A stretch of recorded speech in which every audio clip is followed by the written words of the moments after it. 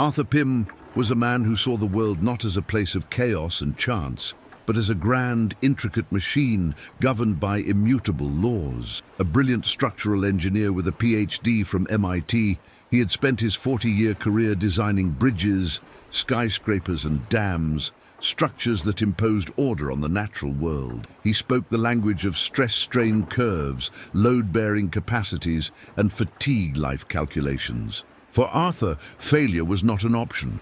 It was simply a result of flawed data or imprecise execution. Now, at 65 and recently retired, he was ready to apply this lifetime of knowledge to his final and greatest project, conquering the ocean, not with brute force, but with perfect engineering. He would build a sailboat so precisely designed, so flawlessly executed, that it would be, for all intents and purposes, unsinkable. For five years, his life became a singular obsession consumed within a cavernous workshop he built on the coast of Maine. The project was the design and construction of a 48-foot sailboat he christened the Resilience. The name was a declaration of his core belief. This boat would not just endure the ocean, it would be resilient to its every whim through superior design. The build was a masterpiece of modern engineering. Arthur eschewed traditional boat-building methods, which he privately scorned as artisanal guesswork and glorified blacksmithing. He wasn't building a boat, he was fabricating a high-performance marine vessel.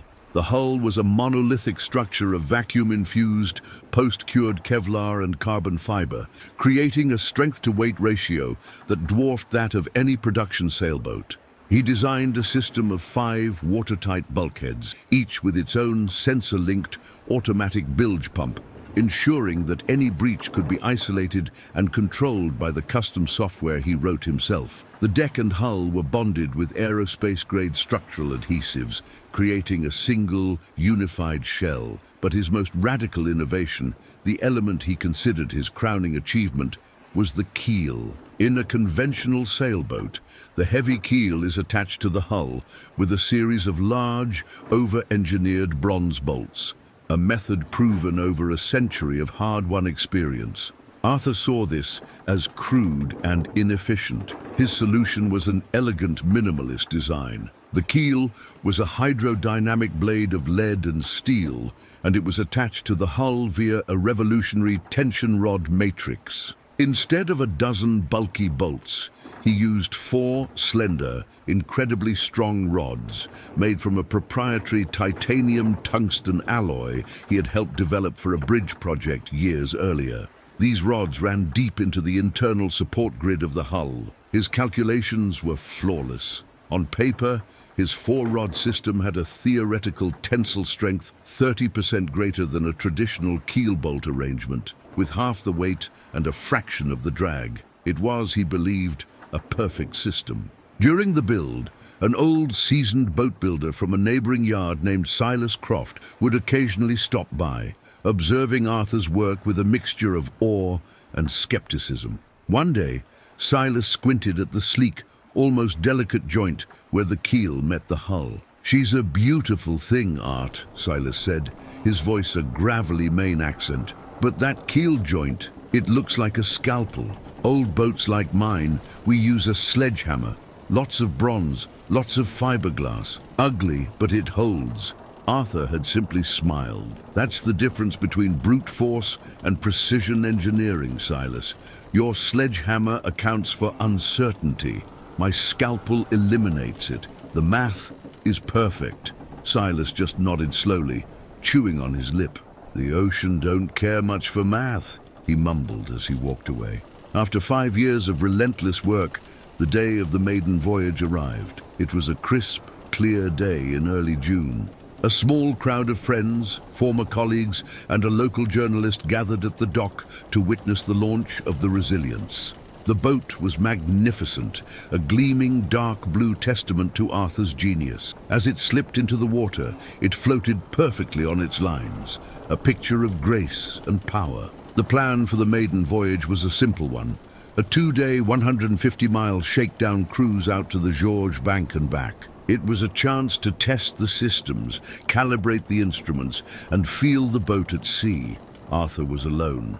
This was a moment he wanted to savor by himself, the final communion between a creator and his creation. The first day was a triumph.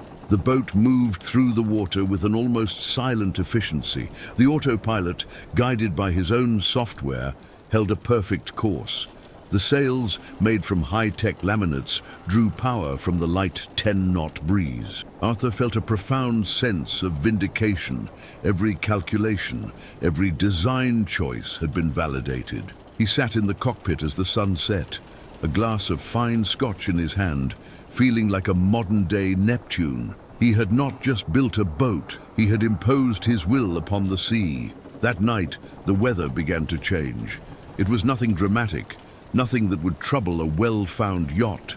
A low-pressure system was passing offshore, kicking up the sea state. The wind rose to a steady 25 knots, and the waves built to a choppy 8 to 10 feet. It was the perfect shakedown weather, a chance to see how the resilience handled a bit of a blow. Arthur reefed the sails and settled in, enjoying the feeling of the powerful boat slicing through the waves. But as the hours wore on, he began to notice something unsettling, a low-frequency vibration. It was a hum he could feel through the soles of his feet, a thrumming that seemed to emanate from the very heart of the boat. An engineer to his core, he knew that an unexpected vibration in a structure is a symptom of a deep-seated problem. He went below deck to investigate. The cabin was a picture of calm, but the feeling was still there, a harmonic resonance that grew more intense as the boat pitched and slammed into the waves. He used a flashlight to inspect the area around the mast step and the keel sump. At first he saw nothing, then his light caught it, a network of impossibly fine hairline cracks in the gel coat around the base, where his titanium tungsten tension rods entered the hull grid. They looked like a spider's web, a sign of microscopic flexing where there should be absolute rigidity. A cold knot of dread formed in his stomach. He placed his hand on the floor over the keel. With each wave the boat encountered, he could feel a minute, sickening shudder. His perfect calculations, his elegant design, Something was fundamentally wrong. He was in the process of turning the boat around to run with the seas back to shore when it happened. There was no warning. One moment, the boat was crashing through a wave. The next, there was a sound that Arthur would remember for the rest of his life. It was not a single sound, but a sequence. First, a high-pitched metallic shriek, like a guitar string snapping in a giant's hand. That was the first tension rod failing. It was followed instantaneously by three more percussive, explosive bangs, like gunshots in a sealed room. Pang, pang, pang. The four rods of his perfect system had failed in a catastrophic, cascading sequence in less than a second. The effect on the boat was immediate and apocalyptic. Having lost its 8,000-pound ballast keel, the Resilience lost all stability. It was no longer a sailboat. It was a cork. It lurched violently, throwing Arthur against a bulkhead. Then, as the next wave rolled under it, the boat did something he had only ever read about in accident reports. It capsized. It rolled over completely, the mast pointing down into the deep, and it did not right itself. His unsinkable design with its watertight compartments was now his tomb. The compartments kept the boat afloat, but upside down, Trapped in the dark, inverted cabin, with water pouring in through the companionway hatch, Arthur was in a nightmare of his own making. The world was a disorienting mess of floating cushions, charts, and the cold, black water of the Atlantic. He fought his way to the submerged companionway, his lungs burning, and pulled himself out from under the turtled hull. He surfaced, gasping for air, into the cold, choppy sea. The resilience, his life's work, his monument to logic was floating upside down, a useless hollow shell. He clung to the overturned hull, shivering and in shock, as he watched his dream bob pitifully in the waves. He was rescued six hours later by a fishing trawler that had spotted the overturned wreck.